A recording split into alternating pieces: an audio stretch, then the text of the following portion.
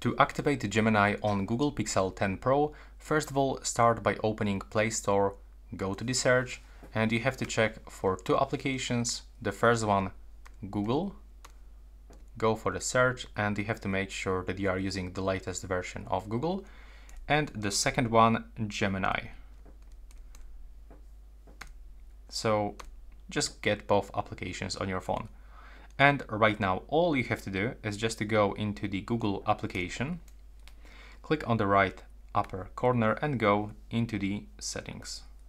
Right now, go for Gemini and you have to simply check for Google for digital assistants from Google and just make sure that you have select Gemini.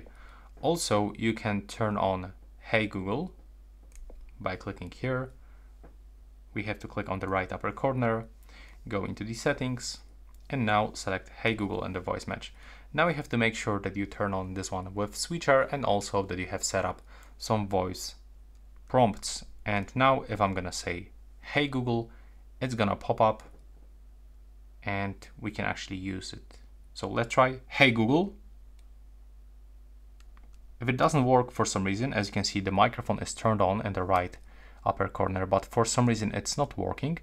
So we can basically try to open it one more time and check for some settings. We can just turn it off and turn it on back. If there's some kind of the issue, let's try if it works. Hey Google. As you can see now, everything is fine. So if you have the same issue that the voice match is not working properly, just simply turn it off, turn it on, or additionally, if it is still not working, you can delete the voice match model and simply retrain it one more time.